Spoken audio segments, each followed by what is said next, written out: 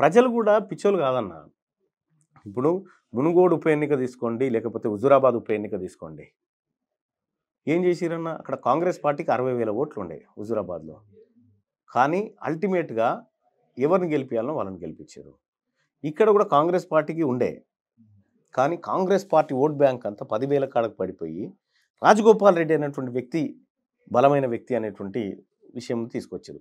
ప్రజలు నిజంగా ఎవరు గెలవగలుగుతారో వాళ్ళ వైపు మొగ్గు చూపుతారు రేపు పొద్దుగాల కానీ బై ఎలక్షన్స్కి జనరల్ ఎలక్షన్స్ కూడా పోల్చి చాలా. తేడా ఉంటుంది. చాలా తేడా ఉంటుంది. మీరు అన్నట్టు అంత ఈజీగా ఉండదు. ఇప్పుడు కేసీఆర్ ఆడ వంద మందిని మోహరించినట్టు రేపు మోహరించలేడు. అదే అంటున్నాను ఉమ్. టికెట్లు ప్రకటించిన తెల్లారి టీఆర్ఎస్ పార్టీ దుకాణం బంద్ అవుతుంది నువ్వు చూడు.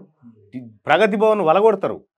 వాళ్ళే టికెట్ల కోసం. టికెట్లు ప్రగతి భవన్ వలగొడతారు. అటు టీఆర్ఎస్ భవన్ మీదకి ఎక్కి గుండెలు ఎత్తేస్తారు. మీరు చూడరు ఆ పరిస్థితి వస్తుంది. ఒక్కొక్క నియోజకవర్గంలో ఐదుగురా. క్యాండిడేట్లు. మాజీ ఎమ్మెల్యే ఆ మాజీ ఎమ్మెల్యే తాజా ఎమ్మెల్యే అందరూ ఒకదానికే ఉంటారు. ఈ ముగ్గురిని సాటిస్ఫై చేస్తాడు? కార్పొరేషన్ పదవులు కూడా లేవు నీట్ ఏ ఇంకేమున్నాయి పాడగానే కార్పొరేషన్ పదవులకు నిధులా విధులా?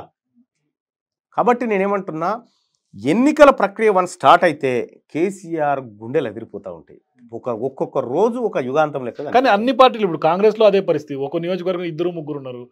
బీజేపీలో అయితే కొంతమంది క్యాండిడేట్లు లేరని కూడా కొంత ప్రచారం జరుగుతుంది. మీరు ఎక్కడి నుంచి ఎంతమందిని పోటీలు దింపే అవకాశం ఉంది మీ పార్టీ తరఫున? అంటే మేము ఇప్పుడు ఇప్పుడు ఏంటంటే ఇక్కడ మాది ఇంకా పార్టీ ప్రక్రియ అనేది ఇంకా పూర్తి స్థాయిలో కాలేదు. అవుతుంది అది. అది అయిన తర్వాత దాని మీద అప్పుడు చర్చ పెడదాం ఖచ్చితంగా.